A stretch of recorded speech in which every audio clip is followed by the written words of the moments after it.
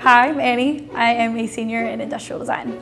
I think design is definitely creative problem solving and it's definitely about looking at ways to change the user experience in a more meaningful way. I feel like I haven't found like one specific area that's made me like be like wow like I want to be in this field.